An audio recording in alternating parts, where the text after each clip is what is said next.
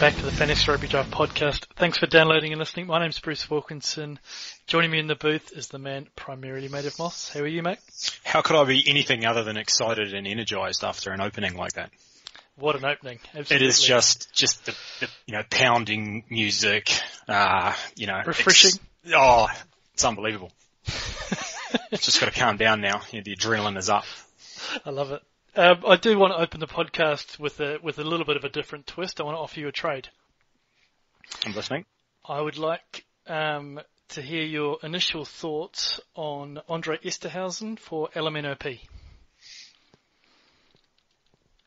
Uh, yeah, uh, I shelf need... that. I don't want an answer now. Okay. Don't want an answer. Okay. I'm happy to take it at any time during the podcast. it's it's that's the there's a there's a time lapse on it then. That's right. A, uh, yeah, one time only offer. It is indeed. Uh, we'll get into a little bit of the Chiefs a little bit later. So we're going to review the games, um, pretty similar to what we did last week. I think we'll more try and figure out um, going forward what's going to happen um, looking at some key points and key takeaways from a fantasy perspective in each of those, as opposed to running through uh, the individual games themselves. But let's start with the, the Highlanders. Um, actually, let's just before we do that, a little bit of admin. So you can follow us on Twitter, Fantasy Rug Draft. That's Fantasy RUG Draft, or drop us an email at support at fantasyrugbydraft.com. Getting a lot of um, feedback questions through. Um, a lot of trading going on. Um, I think that's a byproduct. Um, a lot of to do with the, uh, the Cheetahs, kings, and force no longer being around. There's a lot less players in the player hub that you can pick up. It's a noticeable uptick in um, in trading, which is great. We actually love trading. It's really really difficult to get a good trade done, but um, nonetheless, I think it's it's you know if you're not trading, you're not drafting. Okay, um, so just before you jump into talking about some games of rugby that I didn't see. Um, just just a couple of things. So so one thing is just you were talking about trades. I literally made a trade just before this started. Just thought it might be interesting because it sort of goes back to what you're saying about limited positions. So I, I traded away the Stormers front row um, and got mm. Jerónimo De La Fuente back. Um, so it's a, it's kind of risky. I think he'll be back soonish. So you know, and he's a good player that that we, we both like. I had the Reds and the Stormers front row, and it just it just seemed pointless to to hold on to, a, especially a front row where you you know like you know you're going to be able to use them every week. They're not going to be out injured sort of thing. Um, and yeah, so, so you know if you if you got good players. Um, and you're not going to be able to use them, you might as well trade away and just kind of get something for them. To be honest, I would have taken kind of anything for it, and I was pretty happy with what I got.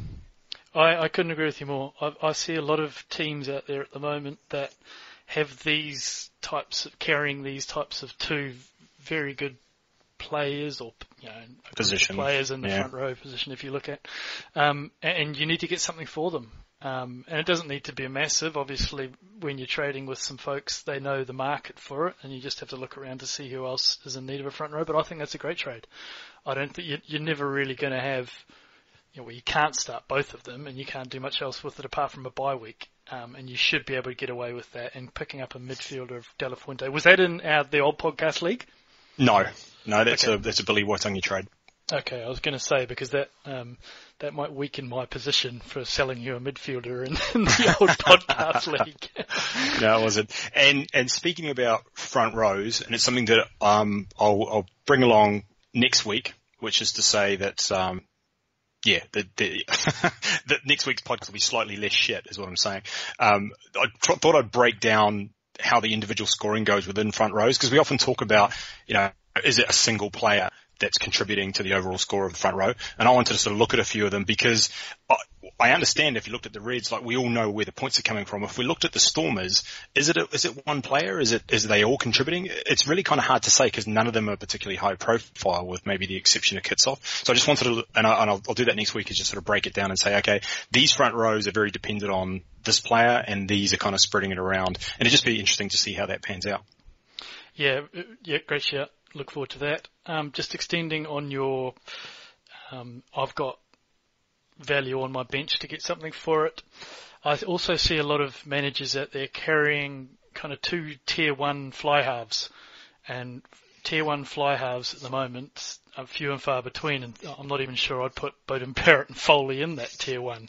But um, I see a lot of you know Sanchez and Barrett sitting there, and I understand why that that happens, but I don't think you're going to get um, a better time to get really, really good value from that spare fly half. Make sure you get a fly half and back that is serviceable or is in that tier two and is actually a starter.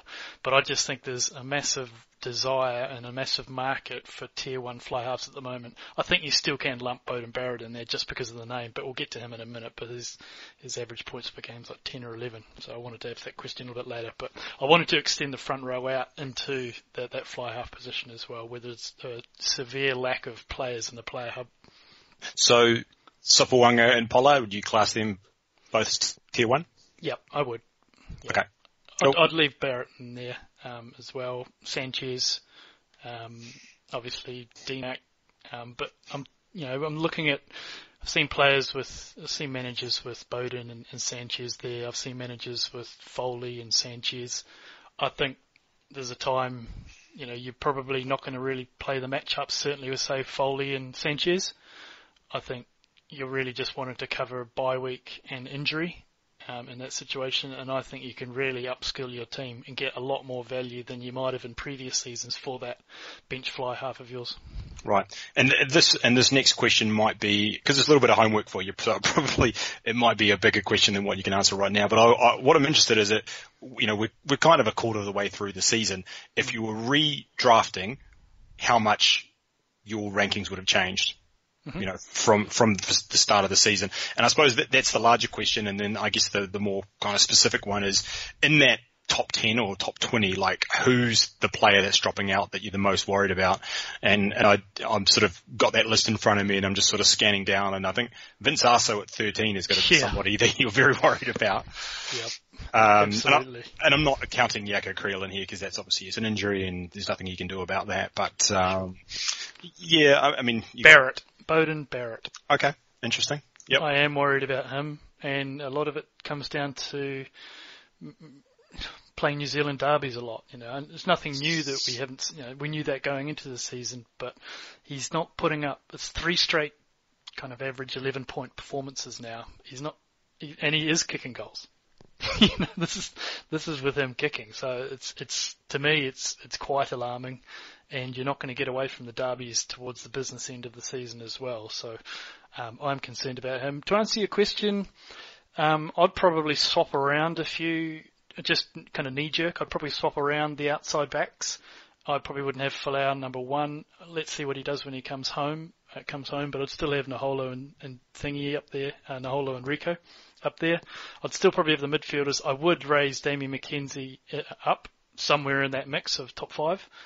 Um, but that's more to do with the fly halves like Foley and like Pollard, like Beauden Barrett. They've been terrible so far. They haven't produced anywhere near what you'd want from them, as well as the the limited pool of, of really good fly halves, as I was just kind of mentioning before. Now, that kind of shelves the concept or the idea going into the season that there's quite a high attrition rate in the fly halves, and we don't really know yet.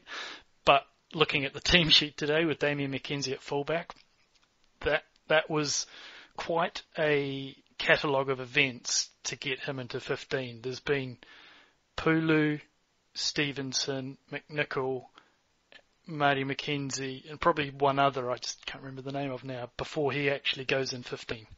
Um, and that all happened all at the same time. So um, looking at the way that they are using him, and potentially we thought it was 20 minutes maybe a game that he'd switch back there, and now that he's playing 15, uh, I, I certainly, if I redrafted now, would have him right in that top five. Um, let's get on to players from the Highlanders and Stormers match. Did you see this one? This is one I did see. Yep. Okay. All right. Um, what was your main takeaway? What do you want to talk about with fantasy here?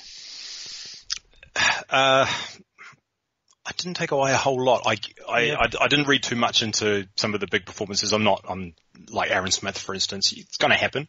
Mm-hmm. Um, still not, you know, he's probably top five maybe, but you know, he's not top three when everybody's fit. Mm-hmm. But, um, one of the things was the the Highlanders left wingers. they just they don't they don't like these guys. Um, No. Is everybody left-handed in the team and just prefers to pass left to right? I mean, what's going on? Yeah, I don't know. We don't really know what happened to Jet Li, do we? Um, just haven't. This is probably. Have I had this rant this season about the lack of quality journalism in rugby and how beat reporters are supposed to be covering teams just whiff, just No, completely miss? You probably have, yeah. I I don't- probably I- have. I- I will say it again, and I I'm don't going to say it. I'm going to say it three times. This is one of the instances as well. Is what happened to Jet Li. You know, they talked about s- subtle changes in the loose forward trio, and um, uh, some, but they never actually talked about where one of the main strike weapons was in the 23. Um, I'll get on to Sergeal Petersen and Reece Hodge kicking in a, a little bit later. But for me, one of the takeaways I thought was, and it's not really news to anybody, is SP Marais's injury is going to mean a little bit of a shuffle for um, the Stormers coming back home. Dillyn Leyds will probably go to 15. The thing that concerns me a little bit with SP Murray's injury is that it was supposed to be Monday night that he's having a rib scan, and we haven't heard anything yet. And the Stormers are usually pretty good. Um, Fleck usually has a conference and, and lets everybody know around about their injuries when it happens. So I just wonder if maybe they're getting a second review there. But that does mean that there'll be more time for Leyds and an uptick for him at fullback.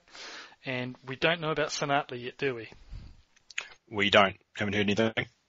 No, um, he was a popular name on, on quite a few waiver wires, and rightfully so. I think there's a chance, you know, if he is fit, that he comes back into that team. Um, I tell you who is sneaky, and he hasn't been as inconsistent as he was in previous season, as Raymond Rhule.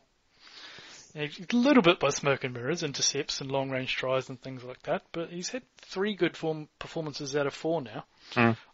I quite like him over some of the kind of average to, to middle range kind of spate and all of those guys. I I think he's decent decent shout to look at. I think that's fair. Yep.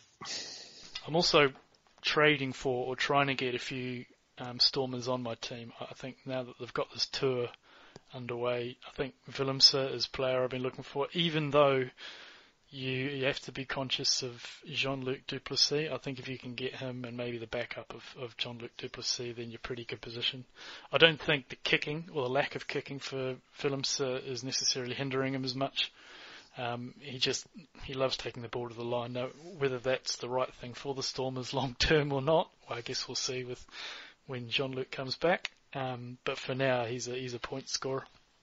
What about um, midfield? I thought it was really promising to see Thompson repeat his performance, and I'm still not. I'm, I'm kind of with you on the boat with Tei Walden. I'm not entirely sure how he's doing it, but he's putting up points too, right? It's we- yeah, it's sort of weird because you'll get Fatters on the field for ten minutes and he stands out, and and yet Walden, who doesn't stand out, is still somehow putting up points. So Does what do you reckon? What do you make of Ben Smith? That's two, that's two really good rugby performances, but he's not really doing it from a fantasy perspective.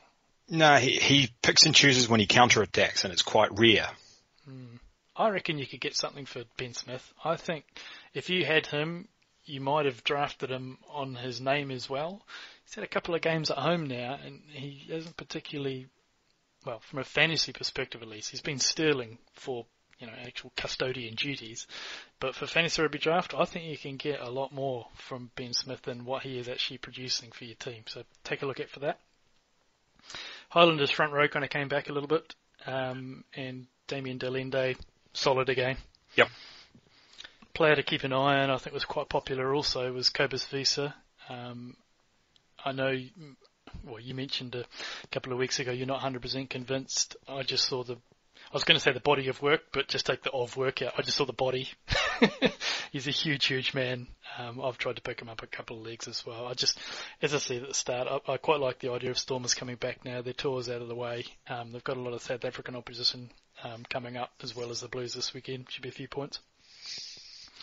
Anything more from this, from these two teams? I just just wondered with Tavita Nabura whether because Aaron Mauger's pretty new, whether you know he doesn't maybe familiar with the players, so he just said Tavita, you're on the wing, pointed at the wrong guy, you know, and he just went out there because it kind of it reminded me. I don't know if you ever heard the story when um, Shola Ameobi was was being, uh, he was a Newcastle striker, Newcastle United. Bobby Robson was the manager, I think. I think it was him anyway. And, um, he, he, he was saying something about, you know, talking about how he was managed and, um, and he said, uh, oh, you know, about Bobby Robson not being, I remember where he was, and he, he said, what did Bobby Robson call you? And he said Carl Cort, who was another guy who looked a little bit similar to him. So that's just referred to him by the same name. Um, so it's not, I'm not sure if he was aware he had two different players in his squad. That's amazing. Yeah. I love it. Yeah, looked a little bit like him. We won't get into that. Yes. Um, uh, Nabura, we did have quite a few questions on our start bench show um, about Nabura, and uh, it, it depends what type of fantasy manager you are. So um, I, I'm at pains to point out that I'm a fairly conservative. I need would like to see, unless it's a really compelling case, I would like to see it first before I thrust them straight into my lineup. I don't want to have a little bit of trust there um, before I put them in. Um, similar thing with Daugunu as well, uh, Daugunu, I should say. Um, he actually performed quite well. Um, we did hear news about Sergeal Petersen, so he's been out for four months. Quite what the Stormers beat reporters were doing, one of their marquee signings, that it's only found out on the 14th of March that he's out for four months. Cannot believe that. I don't know how that's missed. Don't know how it's not reported. Carry on. Um, Reds, uh, your beloved Reds now, I believe it is, with the Reds front row that you have. Um, Reds Brumbies. What's the what's the talking point here? I've got one. Um, how about Rebels Brumbies? Should we talk about that instead? Rebels We, Brumbies. well, yeah, we can talk about a game from last week, I guess, as well. Sure, sure. Well, let's go for let's let's start with the Reds then. well, we looked at um, the the one talking point I wanted to talk about from the Brumbies' point of view was Lealiifano. Are you worried about him at all? See, we talked about tier one and tier two. I'm starting to drift him into tier two now. He gets pulled in 44 minutes. Um, he's just not showing that attacking promise that he that he has been. And the Brumbies are a little bit of a hot mess. They are at the moment. Yeah, no, I'd agree. He's he's been subbed off at around about the same time, two weeks in a row. Doesn't doesn't look like a particularly great fantasy option, and it's hard to see that sort of turning around anytime soon. I mean, I, I think it's more likely that you see Hawera take over the job than it is that you see Lealiifano all of a sudden set fire. Yeah, I do. I wonder if there's going to be a decision made at some point that, I mean, Tevita Kuridrani and Chance Peni, Speight are not getting the ball in good positions. Uh, Peni and Speight actually scored alright this weekend, which was really, really encouraging, but I wondered if they might go to those twin pivots or twin decision making, put um, Howard at 10 and Lealiifano at 12. Get rid of old mate. Kyle Godwin at 12, who again put out another pretty solid performance. Um, uh, probably a good for a, solid number two or number three midfielder. Um, probably number two actually, to be honest, in terms of what the midfielders are doing. Um, Daugunu looked pretty sharp. Um, got 18, 19 points, I think it was. Like the look of that. Christoph Satir was down a little bit coming into 13. It's all going to depend if they, they persist with that. Um, where, what else do you want to go from the, from the Reds game? Uh, so should we talk Rebels instead, maybe? Go. Uh, it's sort of Dave. To turn the page. yeah. Dave Wessels seems to be, he's almost sort of player of the week, isn't he? You know, Yeah. all of a sudden he just, you know, he, he seems like he's a genius. Yeah, absolutely. He's getting them playing quite well. Three Um, bonus point wins to start to the season. I mean, it's, you know, unheard of really. Yeah, what do you make of what happens with Jack Maddocks and Koroibete and Naivalu in that back three? Because Naivalu's been pretty impressive. Koroibete looked like lightning in a bottle when he came on. He looked like he'd been wound up and just wanted to be let go. He looks like he's pushing for a starting place now. The Rebels team sheet's going to be really interesting this week. Which way do you think they're going to go? Oh, I think, I think you'll see Maddocks benched. Mm, Yeah, I mean, I, I'm not really that familiar with the guy, so, you know, it's possible he plays other positions, and if that's what you're sort of alluding to, then I have no idea. Yeah, there's a lot of talk about Maddocks going into ten, but I'm just, I'm not, you know, I'm not sure that that will will kind of come to fruition. Well, What why, well, why would you make a change that drastic with a team that's Yeah. going along so well? Yep, totally agree. That that's no, I'm with you on that one. Absolutely. And speaking of drastic change, another Rebels beat reporter dropping the dropping the bundle. Surely they must have seen when they watched the training that Reece Hodge was kicking a lot of goals. I guess they probably both kick goals anyway during training, but big change there for fantasy draft managers with Reece Hodge picking up the, the kicks at goal. Um, but he also put in a pretty decent performance. Um, I guess you can probably shelve the alarm bells for a while. Yeah, scored two tries. You know, what more can you do? Yeah, absolutely. Um, Murphy, very, very impressive. he's he's. I think we might have said this last week, but he's going to give you owners heart attacks every week because he mm. goes down injured for the slightest things and stays down, and then when I, and then when the whistle goes, he gets back up. I thought you were going to say a couple of things because he had that, yeah, that that punch that was it Lucas threw him the little kind of little kind of jab rabbit punch I think it was that he just collapsed in a heap. Yeah. oh goodness me! And that was just propped that out. Yeah, and then started trying to. And then somebody obviously called him a pussy, and he tried to fight. and it's like, dude, you did just you did just take a dive. Yeah, you did. Yeah, absolutely. Um, much more from the Rebels. I, I thought their forward, their front row actually, it was serviceable. I think they got put under a massive amount of pressure early on by the Brumbies, who were just not very creative with the ball, um, and that was Jordan Uelese's yellow card. But aside from that, they would have put put out a kind of 9, 10 point performance. I think I think better things to come from them. Um, let's get on to uh, uh, let's get on to probably the Bulls then, a little bit more disjointed. uh, Matthews terrible letdown. Um, to be honest, it looked actually very similar to uh, Ben Lam's performance, only Ben Lam got that one long range try, was involved just as much, just never went his way. Um, and I see he's been dropped out of the 23 altogether now. He's probably sipping on yak with uh, Tevita Li. Um, what else did you make from this Bulls team? Um, um, yeah, I mean, I, I'm starting to feel pretty let down by the, the front row. Um, yeah. Once again, just didn't didn't didn't play that style that they did in the first game. So I think we'll shelve any talk of the Bulls front row being a factor until we start seeing that again. Um, two locks and, as well, right? Yep, yeah, and and and I still think Lou Jager looks fine. Um, you know, even when he doesn't score big points, um, I think he he, do, he does enough. He's involved quite heavily, and uh, I think he'll do a bit more than what the average lock will. So I'm not I'm not so worried about him. I mean, Snyman seems always seemed a more limited player for me, and that's why when he scored, outscored him in that first game, it wasn't Snyman I was looking for on the waiver wire, you know, because mm. I just didn't think that was really um, something that was going to be repeatable. Yep, yep, no, that's fair. I would say the same thing as well. He's put in a couple of pretty average performances, probably yeah. symptomatic of the Bulls as well. Yeah, honest. yeah, really not excited about anyone else. Not happy to see Johnny Kotze at 12. Um, you need to get him as far away from the ball as you can. It's true, isn't it? It is. Oh god. Yeah.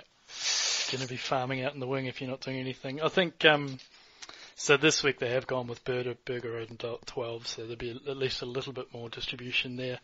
Interesting to see they've dropped Marnitz Boshoff out of the 23. I've got a question um, on a flyer for fly half very end of the podcast, but for now, um, still looked a little bit stuck in mud, but he, you know, he still gets his defenders beaten and he finished off a nice try.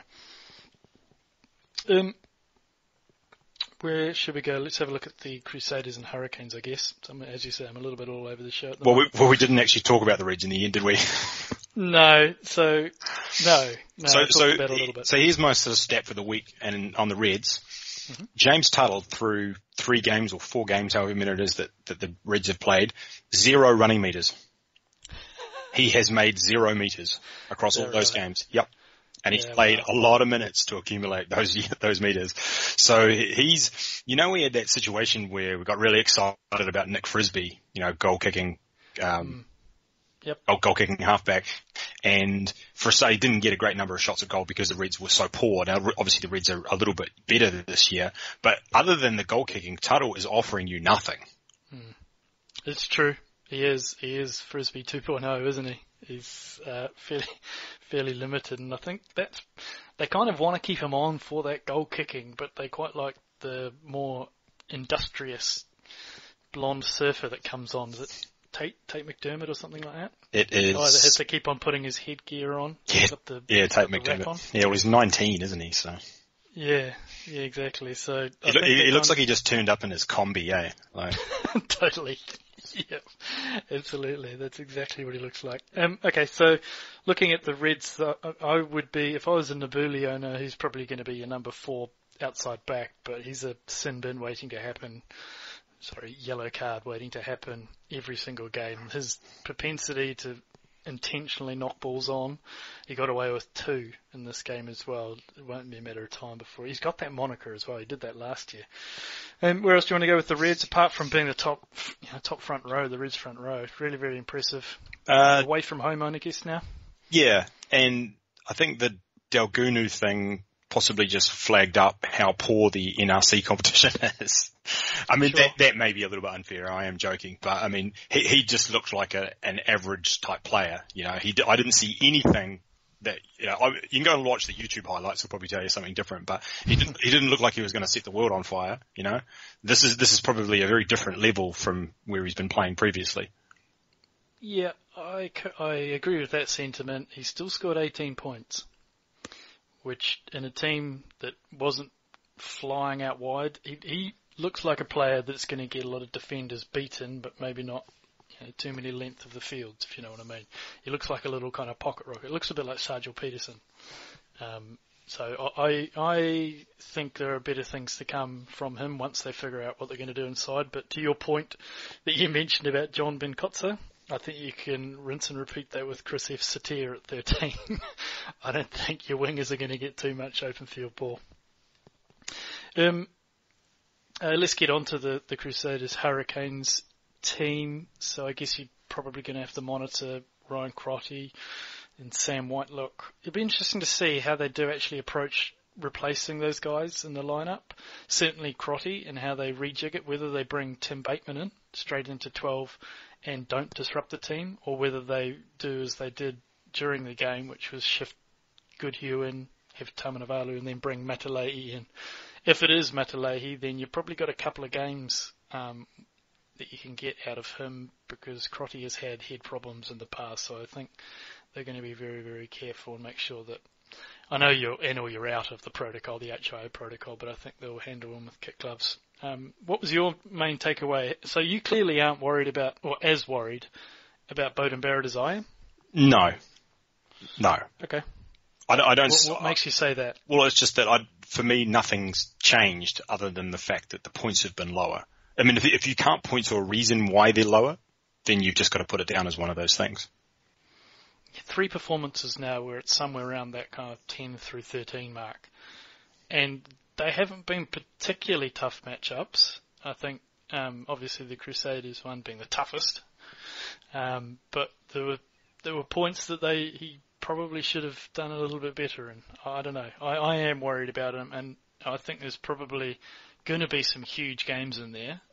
Um, and I think you probably can actually figure out which games they are going to be. But I think with New Zealand opposition, so I, I am worried. But TJ Perenara, there's a few folks talking about um, looking at, say, the, the Schroeder match up against the Sunwolves last week and, and asking questions about whether you bench TJ Perenara or you got your answer. Um, I, I thought it was madness personally. You don't bench TJ Perenara, he's matchup proof. You're in the same boat? Yeah.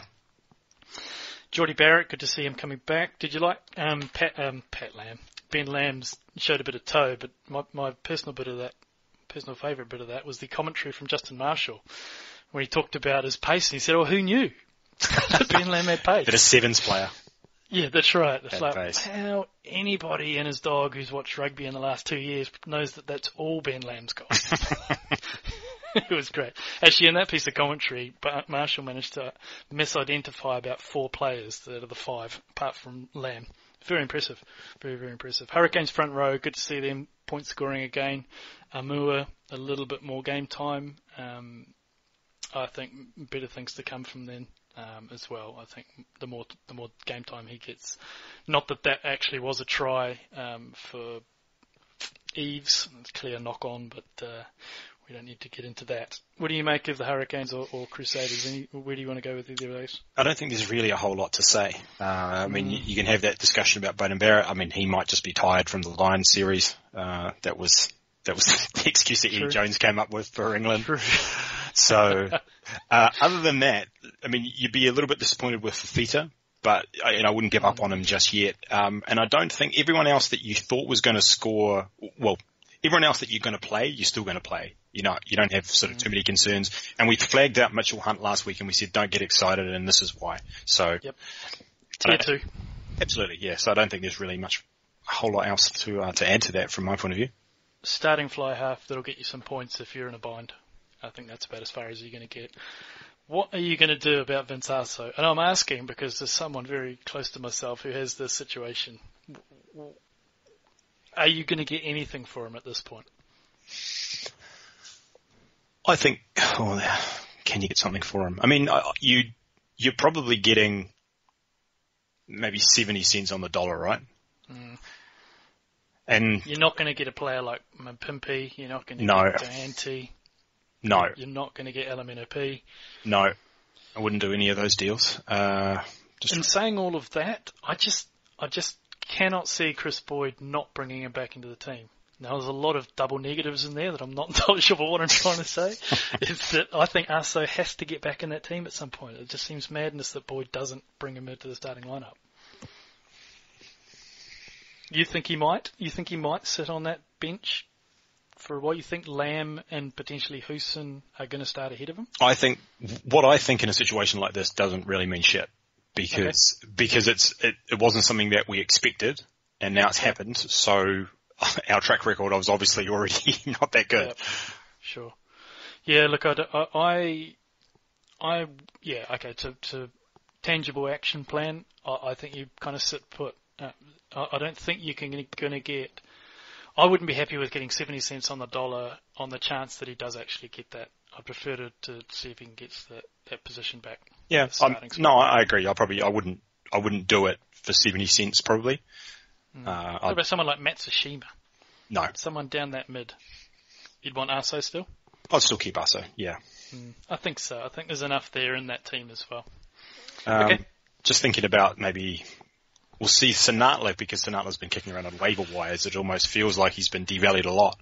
But, mm. uh, gee, that, I mean, that might be one I'd start thinking about. I probably would, I wouldn't do it actually. I wouldn't, but, yeah. but he's I'd in the conversation. Yeah. Yeah. Um, that's probably about as much as we've got for these two teams. You got anything more from Hurricanes Crusaders? No, like I said, I think it's, it's reasonably obvious. Yeah, that's right. Tough matchup this weekend with the Highlanders down in Forsyth Barr. Crusaders not actually firing. Beggars belief that we can only get um, Mitch Hunt and Mike Delany as our backups. No disrespect to those guys, but I would have thought coming to a uh, Super Rugby Championship seems like a bit of an oversight, shall we say, from Scott Robertson, who's a very, usually a very thorough coach. Um, how is that? How is that anything other than a disrespect? You just said they weren't, they weren't good enough. They're not no good dis- enough. No disrespect, but they're rubbish. Well, Mike Delany's done really well to get to this position, right? Uh, he's a he's a ITM Cup kind of Mitre 10 Cup level player who is a, probably a second string fly half. Oh, don't worry, they're not, they're, not, they're not listening. It's all right. to the Delany family, apologies. Um, uh, let's play a little bit of uh, so let's play our four inform game. Are you looking forward to this? Absolutely. So four and form brought to you by Manager Pro, fantasyrugbydraft.com forward slash Manager Pro, where winning is everything. Unlock all the great features, team news in your lineup, and average points per game, which is starting to prove um, quite valuable now that we're four weeks into the season. Right. Can you name me any of the top four in form? Uh, I'll give you a clue. Rob Thompson. No. No. No. I'll give you a clue. Three of them are the same. As last week as last week. Um, is is Sal Mackey still in there? Number two, okay. based on that one performance of three weeks ago. Yeah, exactly. and is probably still in there. He is number four. Yeah. Okay. Um, I'm wondering whether is Elton Jantjies slipped in, uh, slipped in there, slept in. No, nope. might have slept in. I don't know. Crept in there. No. Okay. Uh, Your love child. Uh, DMAC. Yeah. DMAC. Okay. Number one is still out there, and it's this week's performance. You own him in about two or three of two two of the, at least that I know of. Okay. Um, Played the Sunwolves. Oh, my pimpy. The pimp. Yeah. Okay. The pimp. So quality performance from him. Um, we'll get into the Sharks, but yeah, those are our four and four. Re- really interesting to start to see um, not just your total points with those with the form.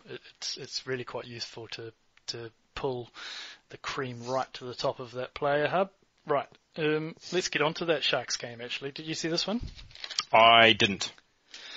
Yeah, so we've been we've been calling for the warthog, and we got him, and yeah, as build, just impressive. Um, one particular, the try that he scored, the in and away, the show and go, it was, it was, yeah, it's awesome. So, I don't think you probably, I don't think you can look at a 50 point performance every week, but Sharks front row, if you've got them now, um, and you've held on to them and you didn't lose faith, fair play to you. Um, don't think we need to discuss the pimp on Nkosi. Andre Esterhuizen is playing very, very well. They go on tour now, but he's the type of player that probably is fairly tour proof, if you will being being a 12 and 13, but he looks thinner. He looks like he might have slimmed down in the off season as well. He looks really really strong. Um, uh, and I guess from the the Sunwolves perspective, you've got Matsushima who played really really well, and Lemeki both in a losing performance did did pretty pretty impressive stuff. And one player that's been added in a few waiver wires, and I'm not 100% convinced about it, is Michael Little. Um, he got it a lot he just was involved a lot, um, and it did open up. I don't expect this to be necessarily a thing. Um, I think if you've got a spare bench spot, it might be okay rolling the dice, but the Sunwolves chop and change their team so much, and this was a fairly open game, so I'm not convinced about it.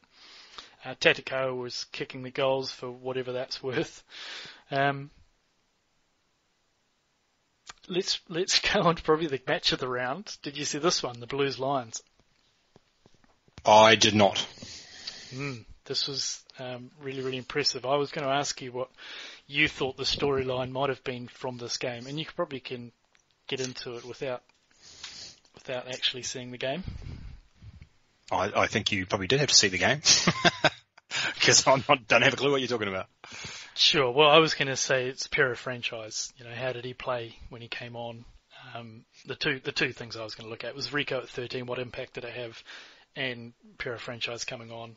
Um, Perofeta looks great. He looked really, really impressive. Um, wasn't a coincidence that the last 20 minutes was when the Blues came over the top.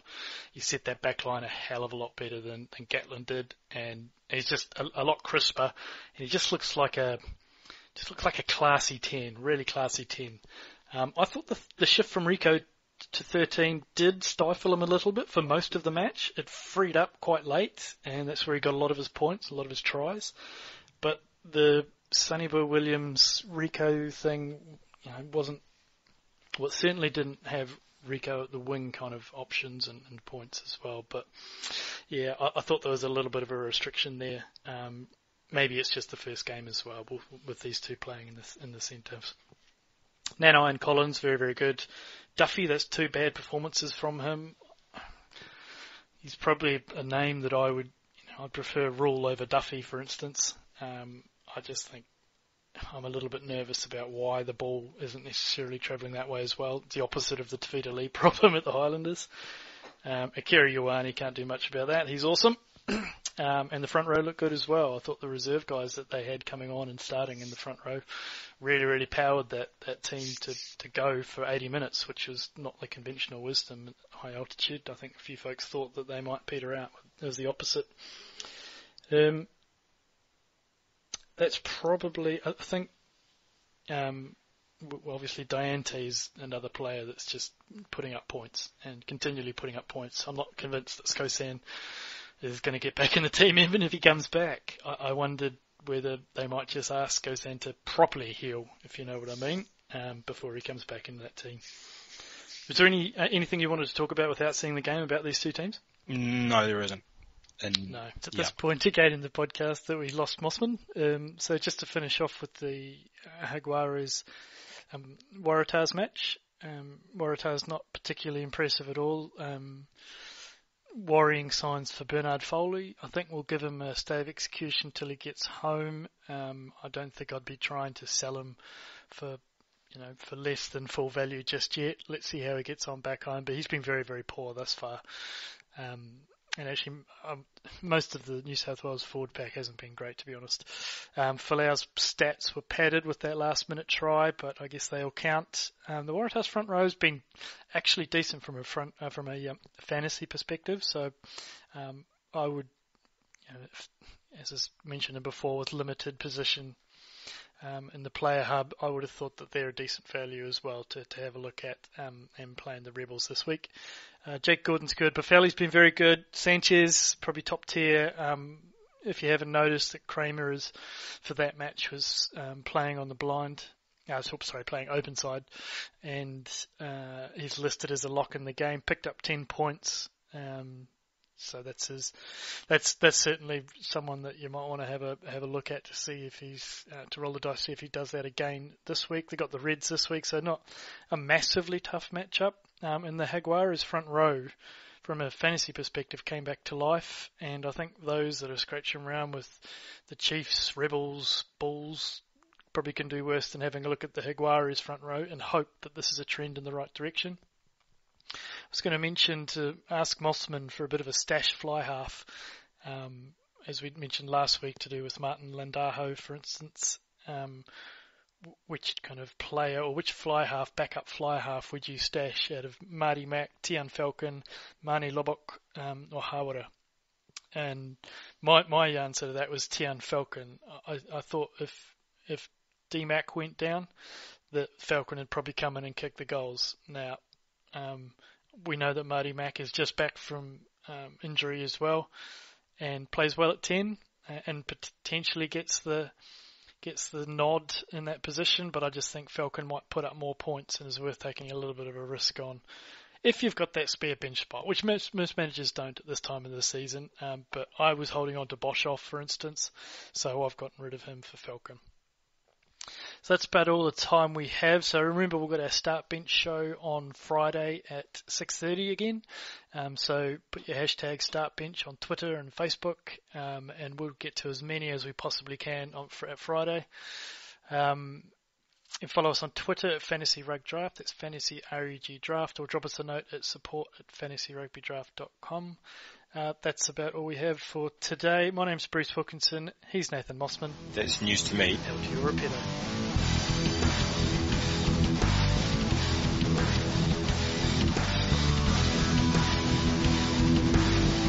What a pass here by Christian Cullen!